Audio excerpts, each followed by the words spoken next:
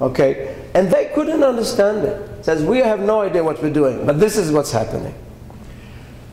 And they refer to people from Princeton, Dicke, Peebles, Rawls, and Wilkinson. Okay? So look, this paper was published on May 13, 1965 by Penzias, Andrew Penzias, and Robert Wilson. A week before them, on May 7, 1965, Dicke Peebles, Rawls, and Wilkinson published this is what this noise is coming from. They say, helpful discussion with Penzias and Wilson. They were trying to build the same antenna that those guys built for a million dollar, millions of dollars. They were trying to build it on the top of the physics building using coffee cans. So, of course, they were not successful. But they knew what's happening. So they published on May 7 what Penzias and, and Wilson discovered, and guess who got the Nobel Prize? Penzias and Wilson. Some say that's because you cannot give the Nobel Prize to four people, you can only give it to three. And some says because the Nobel Prize is really for the discovery. So they made the discovery even though they didn't know what they're doing. And even though it was actually John Peebles who was at the seminar in John Wilkins in uh, uh, Johns Hopkins University and told uh, Penzias, this is the meaning of your discovery. You discovered the radiation left over from the Big Bang, the echo of the Big Bang, 1965. That was probably the most important revolution in science in a long while. Why is it important? Where is it all coming from? Same time, Princeton, well, actually before, there was this guy called Albert Einstein. And Albert Einstein had a theory of gravity. Now, I realize that. Are you going to come and help me? I'm gonna, I'm gonna ask you to stand up here and hold it so everybody can see it. I don't want somebody too tall because then I won't be able to reach. Very good. Can you hold it? Very good. So, what did Einstein say? Here is the theory of gravity according to Newton. This is the sun, you see it has spots like the sun, and this is the earth, you see it has a coordinate system. According to Newton, the sun attracts the earth, and that is why the earth goes around the sun. Okay, because of the gravity. Einstein said no. Okay, Einstein said, here's my gallant assistant, you put it down so you can see it too. Einstein said, if I put a massive object in this manifold of space and time, what it does, it curves the space and time. Every massive object curves the space around it. Now the Earth wants to move in a straight line. But a straight line in a curved universe is a circle. Okay? So Einstein's theory, thank you. Einstein's theory of gravity is an alternative theory to Newton's theory, which says that there is no force, it's all in the geometry. And in fact, Einstein says that if there is a light coming from a star, it will bend around the sun. And that's exactly what has been observed. So this curving of, of the manifold of space, any object that is, any, any object which is massive, curve the space around it. And then any object that want to go in a straight line in a curved universe will go in a circle. It's like a whirlpool. Exactly. This is the whirlpool right here. A black hole. That's why if this would be very, very massive, this will be a black hole. Namely, nothing will escape from here and just go around, spinning around, and never been able to leave the black hole. So Einstein developed his theory, and there was this curious guy, Monsignor Georges Lemaitre. Can you see he was a priest? You see? He's dressed like a priest. Here he's talking with Sir Eddington, one of the giant of cosmology. And Monsignor Georges Lemaitre solved Einstein equation and showed that one of the solution is the Big Bang theory. He didn't call it Big Bang, he called it the theory of primeval atom. And he wanted to present it to Eddington. So here comes this guy, dressed like a priest, talking about beginning of the universe. And Eddington said to him, you know, this is, we're doing physics. And slowly, slowly, everybody realized this guy knows what he's talking about. He's the priest, but he knows what he's talking about. In fact, Einstein once said that Monsignor Georges Lemaitre is the only person who understands his theory. So Georges Lemaitre predicted the theory, the existence of Big Bang, 1928. This is the same time that Hubble was making his observation. Okay? It's actually a very interesting story. Monsignor Georges Lemaitre became the chairman of the Pontifical Academy, and the Pope wanted to adopt the theory of Big Bang. Okay? That's the beginning, you know. He didn't know that it's not 4,771, but so Georges Lemaitre said, no, we should separate science and But you see, we are really probing the very, very question that religion asks us. And you may want to ask me, how do you resolve this, you know? 13.8 billion years with 5,771. I have an answer. Anyhow, so Monsignor Georges Lemaitre came with a theory of Big Bang, and in fact, he uh, we know today that that theory is correct. Again, one of this little bit of math, but I'll go through it. We can use the theory of Big Bang to calculate the element that was produced during the Big Bang. 76% of the universe was made out of hydrogen and 24% of the universe was made out of helium. We can calculate exactly how many elements existed we can calculate also an isotope of hydrogen called deuterium, isotope of helium called helium-3. I won't go into all these details.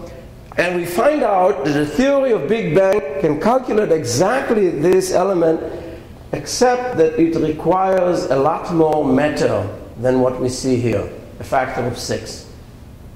Okay? So you see, we physicists are very smart people. We don't know what we're talking about, so we decided we're going to give it a name, and therefore we'll sound intelligent. So we really have no idea where is all this missing matter. Remember, this requires a factor of six more matter. This calculation requires a factor of six more matter than we know exists. So there must be dark matter. Very simple. We gave it a name, in fact, uh, my colleague uh, uh Dan McKinsey uh, talked over here about dark matter. We're looking for that dark matter. And let me tell you, the first one to find it is going to be, you're going to hear about it, okay? Because a factor of six of the matter around us is dark matter. Now, I have over here, how much time do I have? Uh, well, actually, it's three to four, but uh, so I'll skip this. The library. I'll, I'll skip. Let me let me go to the to the real exciting thing. Okay, I'll try to squeeze it into five minutes. Okay, so here we are. We found the theory of the Big Bang. We're going to Hubble, and we find out that the majority of the matter around us we can't even see. It's dark matter. Okay, who knows what it is? Maybe somebody already knows, and tomorrow we'll read in the New York Times. We'll see. Okay, so we measure distances to uh, next door galaxies by looking on those stars. Stars, after a while, get to be too faint. You cannot use them anymore. In order to have another cosmological yardstick, you need a much brighter object, and that's called a supernova. A supernova is a star like what the sun will be at the end of its life. It's called a white dwarf. Still material from another star which is diffused and get fatter and fatter and fatter, and at some point, boom, it explodes.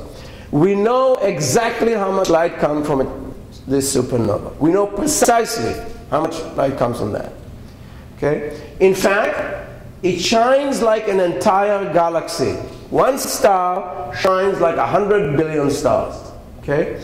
So if we know how much light eh, comes from that star. So we, we look at the galaxy all the way at the end of the universe, and all of a sudden it's twice as bright.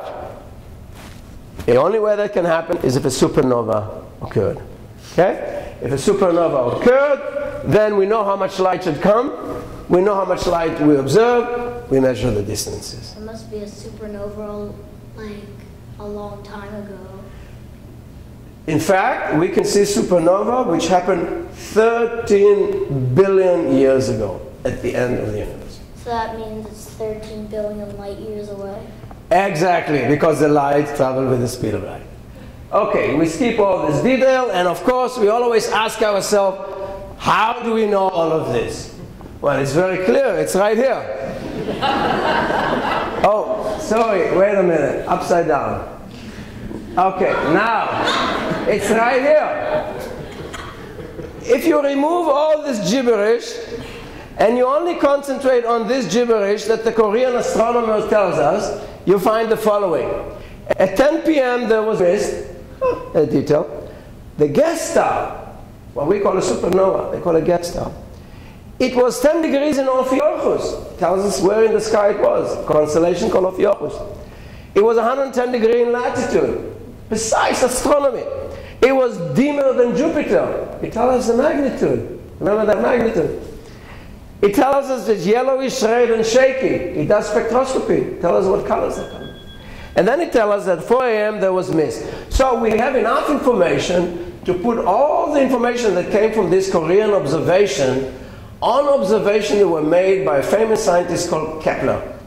Kepler has a teacher called Tycho Brahe. Remember the guy with the silver nose? That was Tycho Brahe. He was a, he was a teacher of Kepler. Both of them saw a supernova in our galaxy. Okay? We're waiting for one to come any day. You see, it's 400 years ago. It should come any day. It will be a spectacular thing. It will be something like the sun in the sky shining for about two weeks. Okay?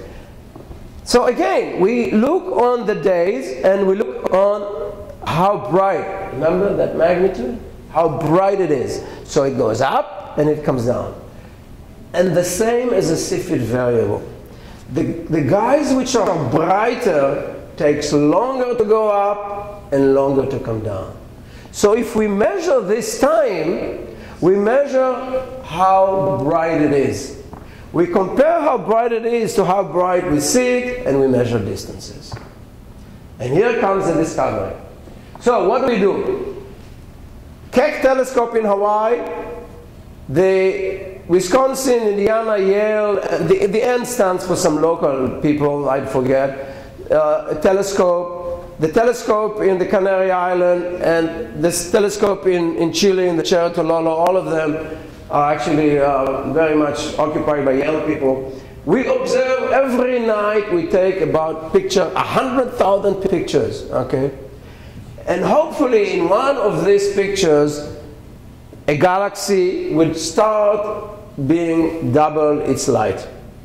So we say, aha, a supernova exploded in this galaxy. We tell Hubble, point yourself toward this supernova, uh, toward this galaxy, and make this measurement. So the Hubble make the measurement of this, what we call the light curve. How long it took to, to go up, and how long it, long it took to go down.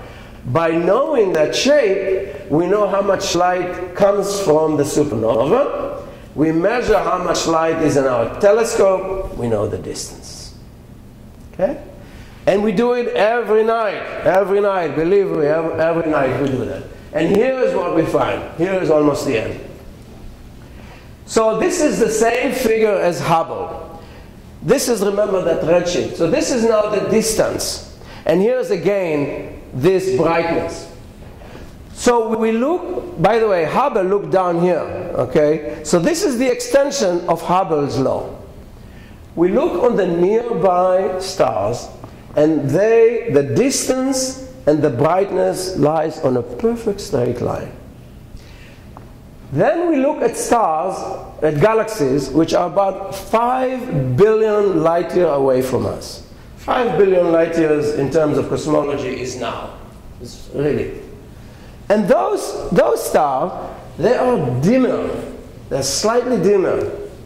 Okay, so all the stars near to us, they have a distance and the brightness, they all lie on a straight line. But then the one which are at about five